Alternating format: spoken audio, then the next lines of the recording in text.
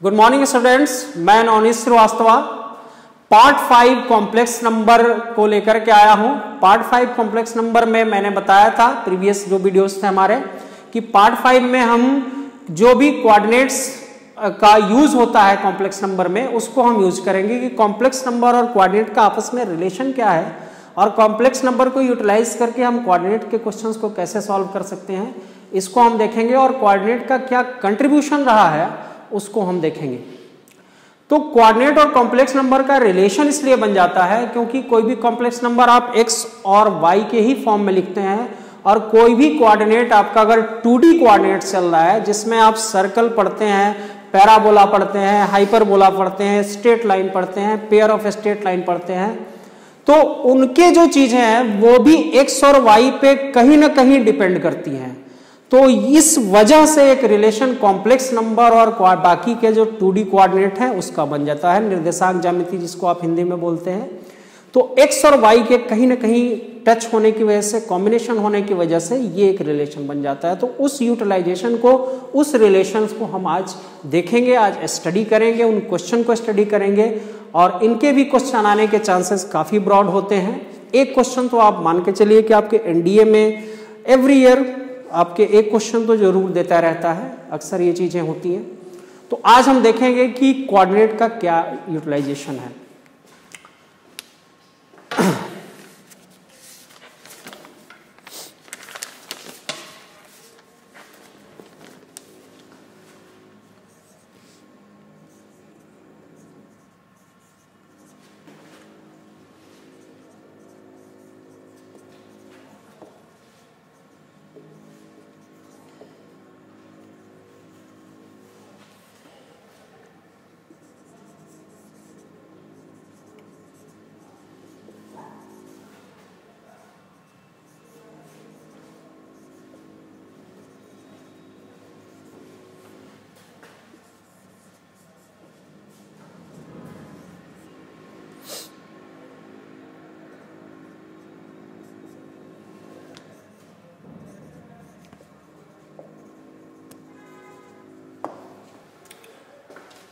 Student, हमारा ये प्रश्न है, ये काफ़ी बार आ चुका है, एनडीए का एक बहुत ही बढ़िया क्वेश्चन है।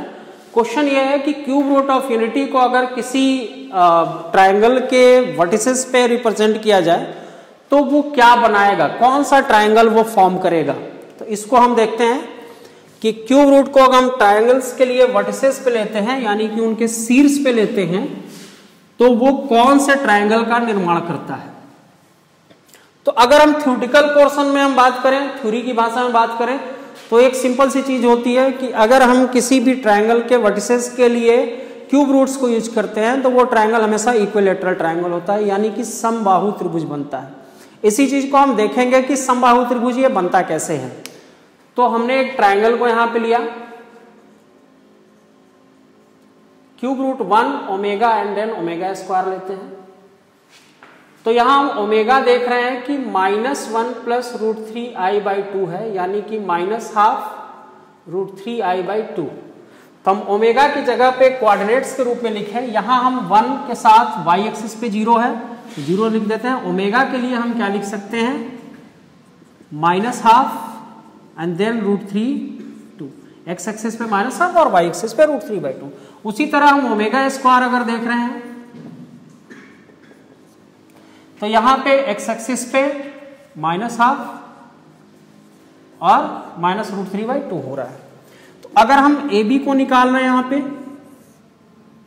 तो one plus half whole square root three minus zero whole square तो ये हमेगा दो एक तीन थ्री थ्री जा nine by four and then three by four बारह बटे चार, यानी कि रूट थ्री हमें दे रहा है। ए बी हमारा रूट थ्री आ गया। अब हम देखते हैं कि बीस ए सी क्या आएगा? ए सी भी लगभग वही देगा, ये भी थ्री बाई टू का होल स्क्वायर जाएगा और थ्री बाई टू जाएगा। नौ बटे चार और ये root sorry three by two three by four जाएगा। तो अंडर रूट बारह बटे चार, ये भी हमारा रूट थ्री आ जाएगा। एंड अगर हम बीसी को चेक करते हैं तो बीसी पे भी अगर आप लेंगे तो ये और ये कैंसिल हो जाएगा ज़ीरो का होल स्क्वायर ये और ये ऐड हो जाएगा रूट थ्री का होल स्क्वायर यानी कि रूट थ्री दे देगा। तो यहाँ हम देख रहे हैं कि ए बी बराबर बी सी बराबर ए सी है, यानी कि कौन सा ट्रायंगल ये फॉर्म करता है ऑलरेडी ये इक्विलेटर ट्रायंगल को फॉर्म करता है। स्टूडेंट यहाँ मैं एक चीज़ और मेंशन कर दूँ कि क्वाड्रेटिक जो यूज़ होते हैं, जो क्वाड्रेटिक फॉर्म में आपके कॉम्प्लेक्स नंबर तो उसके लिए कोई पर्टिकुलर ऐसा रूल नहीं है, कोई पर्टिकुलर फॉर्मुलेशन नहीं है जिसको हम यूज़ करते हैं। क्वेश्चंस हमारे सामने होते हैं, उन क्वेश्चंस के लिए और हम अपने जेड के लिए एक्स और आई वाई को लेकर के हम उन क्वेश्चंस को हल करते हैं। हालाँकि बहुत बड़े अगर हम क्वेश्चंस में जाएँगे, बहुत बड़ी चीज़ों में जाएँगे तो वहाँ हमें ज़रूर मिलेगा कुछ पर्टिकुलर ट्रिक्स होते हैं पर्टिकुलर फार्मूले होते हैं बट उनको एक पर्टिकुलर वीडियो में बता लेना, वो पॉसिबल नहीं है। तो आज के इस वीडियो में मैं उस चीज़ों को हम देखेंगे जहाँ से छोटे क्वेश्चन जो ज़्यादातर करके आते हैं एनडीए में, उनको हम डिस्कस करेंगे। बाकी फर्दर डिटेलिंग जो हमारी होगी, वो यहाँ आपके बुक्स में मिल जाती है, आपके पढ़ाई में मिल जाती है, यहाँ पे हम करा देते हैं। तो आज इस वीडियो में हम उन बेसिक क्वेश्चंस को देखेंगे। आगे के क्वेश्चन या आगे के फार्मूलों को आपको उन क्लास में अटेंड करके, उन क्लास में हम चीज़ों को बताते हैं। तो इस वीडियो में मैं बेसिक चीज़ों को आपको फ़िलहाल बता दे रहा हूँ।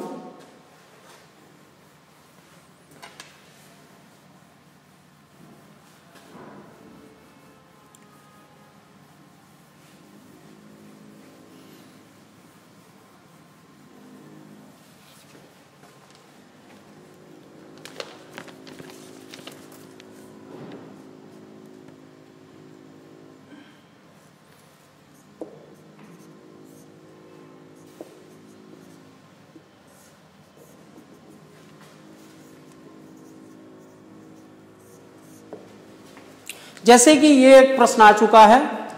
क्वेश्चन है कि mod i minus Z upon i plus Z is equal to one lies on lies on X axis lies on Y axis none of these या फिर lies on the negative X axis या negative Y axis तो यहाँ पे इस type से जो question होते हैं, उनके लिए एक सिंपल सा तरीका है सिंपल सा रूल है कि जो जेड होता है उसको हम x प्लस आई वाई मानेंगे।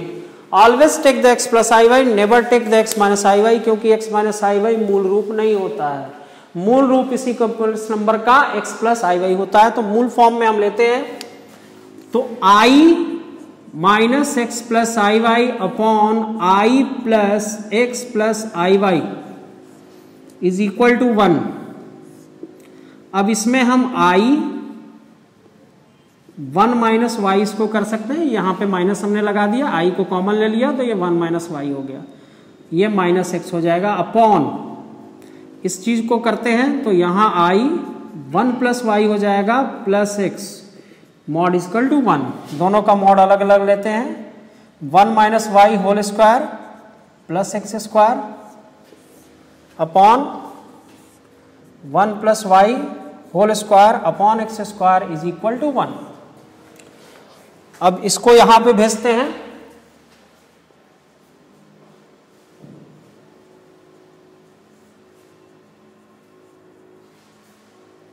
दोनों और वर्क करेंगे।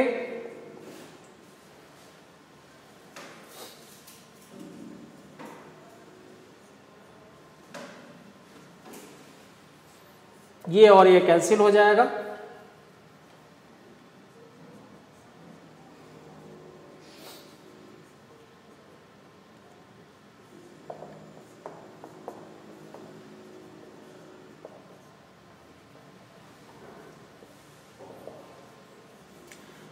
स्टूडेंट यहाँ हम पा रहे हैं कि y इजकल टू ज़ीरो आया।